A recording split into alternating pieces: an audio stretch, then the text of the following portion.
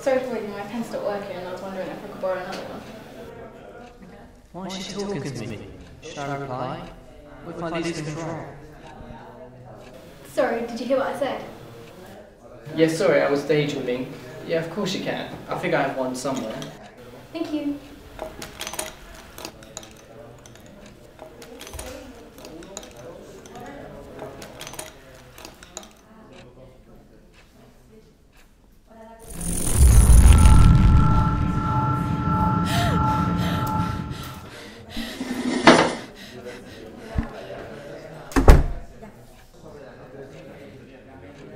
Huh?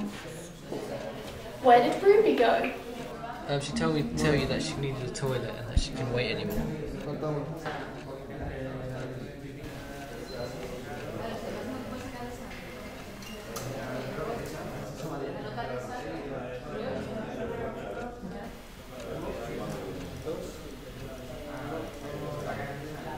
I also need the toilet. Okay, hurry back.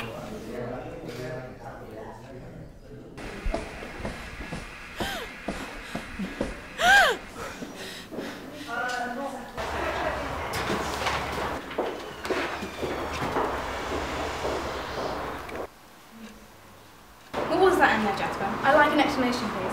No human being can do that. It's impossible. I was practicing for the magic show coming up on Friday. I'm a young magician.